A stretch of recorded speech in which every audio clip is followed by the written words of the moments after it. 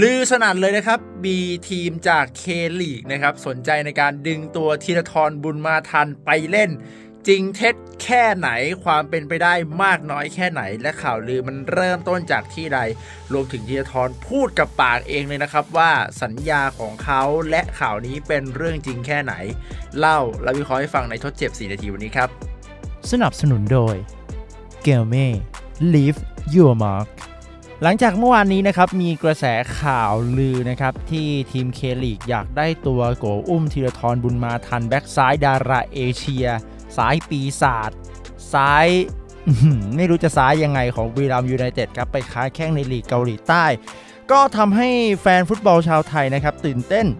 กับข่าวนี้มาก ๆ นะครับ จนมีแฟนบอลทักข้อความเข้ามาในเพจดูดูบอลไทย แล้วก็เข้ามาถามในไลฟ์สดเมื่อคืนนี้กับเต้ฟังต้องซุยกันอย่างล้นหลามเลยนะครับ ทางเราก็ไปสืบหาข้อมูลนะครับ จนพบว่าที่มาของเรื่องนี้เนี่ยมาจากทางบอลไทย .com นะครับได้ลงข่าวได้รับข้อมูลมาว่ามีสโมสรหนึ่งในศึกฟุตบอลเคลีกสนใจอยากจะได้ตัวโกอุ้มธีรทรบุญมาทันไปร่วมทีมในฤดูกาลหน้านะครับพราะทราบมาว่าสัญญาของโกเนี่ยเหลืออีกเพียง 14 เดือน โดยสโมสรที่ยังไม่ขอออกนามนี้นะครับ ยังไม่ได้เปิดโต๊ะเจรจากับบุรีรัมย์นะครับ แค่กำลังจับตาสถานการณ์ของพี่อุ้ม แล้วก็ไปตัดสินใจว่าจะยื่นขอยืมตัว หรือซื้อขาดอีกทีหนึ่งซึ่งรู้ที่มาของข่าวไปแล้วทีนี้เรามาลองตัด choice ความเป็นไปได้กันหน่อยนะครับว่าทีมที่ติดต่อพี่อุ้มเข้ามาเนี่ยดูซิว่าทีมไหนนั้นจะเข้าข่าย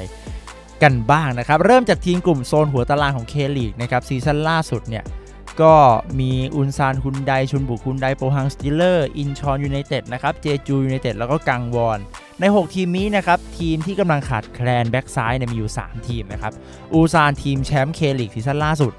เจจูยูไนเต็ดแล้วก็อินชอนครับ ส่วนทีมในโซนล่างที่รอดตกชั้น 2 ทีมที่พอจะหาจุดเชื่อมโยงในการจะเซ็นนักเตะไทยไปร่วมทีมเนี่ย อย่าง FC โซอดีตทีมเก่าของอาตุ๊กปิยะพงษ์ผิวอ่อน หรือแดกู FC ที่เคยได้เห็นฟอร์มพี่อุ้มมาจากตอนแข่ง AFC Champions League นะครับ ก็มีแบ็กซ้ายเพียงพออยู่แล้วนะฮะ แต่ถ้าจะลองอีกมองอีกมุมหนึ่งนะครับ ว่าทีมที่สนใจพี่อุ้มไม่ได้ต้องการจะเอาพี่อุ้มไปเล่นแบ็กซ้ายแหละครับ แต่อยากได้พี่อุ้มไปเล่นกองกลางเนี่ยก็ดูจะมีมากกว่า 2 ทีมนะครับที่ดูแล้วอาจจะเป็นการเสริมทัพในตำแหน่งกองกลาง ก็จะมีอุนซานกับแดกูนะครับ โดยในฝั่งของอุนซานเนี่ยกำลังอยู่ในช่วงต้องถ่ายเลือดกองกลางพอดีนะครับ เพราะว่ากองกลางที่มีอยู่ 5 คนเนี่ยสใน 5 คนนะครับ มีนักเตะอายุ 34 ไป 2 คนแล้วนะครับ แล้วก็อายุ 36 อีกคนหนึ่ง ส่วนฝั่งของทีมแดกูก็เหมือนจะมีปัญหาเหมือนกันนะครับ กองกลางที่มีอยู่ 4 คนเป็นดาวรุ่ง ตั้งแต่อายุ 19 20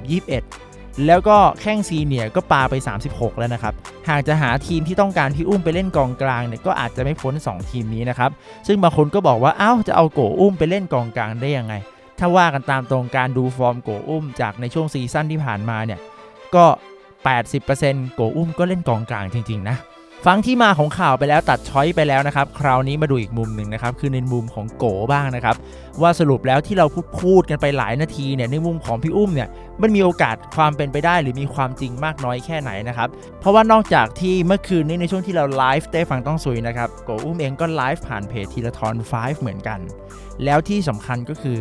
มีประโยคที่โกอุ้มเองก็ยืนยันนะครับว่าข่าวนี้เป็นเรื่องจริงครับมีทีมสนใจจริง แต่สัญญาของเขายังมีอยู่กับบุรีรัมย์อีก 1 ปี นั่นคือสิ่งที่โกอุ้มพูดแบบสดๆร้อนๆเมื่อคืนนี้นะครับผม ทีนี้เราย้อนกลับไปในเมื่อปีที่แล้วครับ ช่วงสิ้นปีก่อนที่พี่อุ้มเนี่ยจะย้ายกลับมาบุรีรัมย์นะครับใครยังจำได้ตอนนั้นพี่อุ้มเคยถูกสัมภาษณ์นะครับหลังจากมีกระแสข่าวว่าการาตาสลายเนี่ยทีมดังในลีกตุรกีนะครับให้ความสนใจและติดต่อไปร่วมทีม โดยคำตอบของโก ก็ได้ปฏิเสธข้อเสนอนั้นไปนะครับ พร้อมกับย้ำว่าความฝันก็คือการมาเล่นที่ญี่ปุ่นเท่านั้น ไม่ใช่ที่ยุโรปหรือที่อื่น แม้ที่ผ่านมาจะได้รับข้อเสนอจากที่อื่น เช่นออสเตรเลียตะวันออกกลางสุดท้ายก็ปฏิเสธไป เพราะว่าต้องการเล่นที่ญี่ปุ่นเท่านั้นนะครับซึ่งถ้าเอาแค่คำตอบนี้ของโกก็ชัดนะครับ ว่าพี่อุ้มน่าจะไม่มีความคิดย้ายไปเล่นลีกอื่นเลย ถ้าไม่ใช่เจลีก ฉะนั้นถึงจะน่าเสียดายแต่ดูแล้วโอกาสที่เราจะได้เห็นพี่อุ้มไปเคลีกก็ต้องบอกว่ายากมากจริงๆนะครับแต่ถึงอย่างนั้นนะครับอย่าเพิ่งตัดใจในการอยากเห็นพี่อุ้มไปต่างแดนนะครับปัจจุบันพี่อุ้มอยู่ภายใต้การดูแลของ JEB Entertainment นะครับบริษัทเอเย่นจากประเทศญี่ปุ่น ซึ่งนักเตะในสังกัดส่วนใหญ่นะครับก็จะค้าแข่งอยู่ในเจลีกหรือส่งออกไปยุโรป ฉะนั้นถึงแม้ประตูเคลีกจะเหมือนปิดไปแล้วนะครับ แต่ประตูกลับไปเจลีกก็ยังเปิดกว้างสำหรับพี่อุ้มอยู่ ถ้าหากพี่อุ้มยังคิดถึง แล้วก็คิดถึงคุณภาพของฟุตบอลญี่ปุ่นแบบที่เมื่อคืนเต้ฟังต้องซุยพยายามพรรณนาไปเนี่ยก็ต้องรอดูกันอีกทีนะครับ นี่คือข้อมูลทั้งหมดที่นำมาวิเคราะห์ให้เห็นกันหลาย ๆ มุมนะครับ ทีนี้หลังจากเพื่อน ๆ ได้เห็นข่าวนี้ฟังข่าวนี้แล้วคิดเห็นอย่างไรอยากให้โก กลับไปเล่นในต่างประเทศอีกครั้งหรือไม่ หรืออยากให้อยู่ไทยต่อเลื่อนมาคอมเมนต์แลกเปลี่ยนความเห็นกันได้นะครับ และนี่คือทั้งหมดของทดเจ็บ 4 นาทีวันนี้ครับ